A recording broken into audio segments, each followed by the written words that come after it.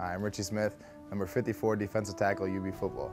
This defense could be great. We have all the tools, um, personnel. We are, we're all meshing right now with the linebackers to the, the DBs and the D-line. It's a different defense, and once I got the hang of it, you know, it's, uh, it's a lot of fun. Going into my last year, I just wanted to work hard, lay everything out in the field. I actually started in spring workouts through uh, spring ball and then summer workouts and all fall camp just working hard and trying not to let anything go just to be an all-around better player. Um, focus up and sharpen my tools and, and listen to Coach Jappy and Coach Inge and what they, what they had to teach me and just trusting their techniques and doing what I had to do.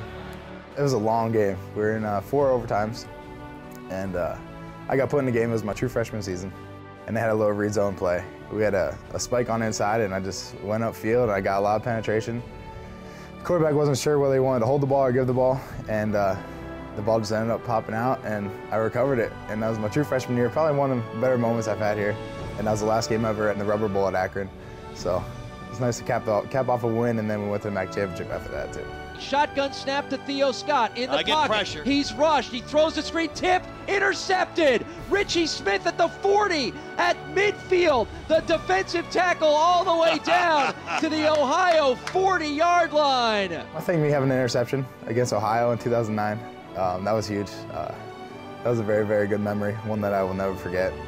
It's not very often a D lineman gets an interception and returns it for, for a couple extra yards for the offense, so uh, that's probably my favorite mem memory here.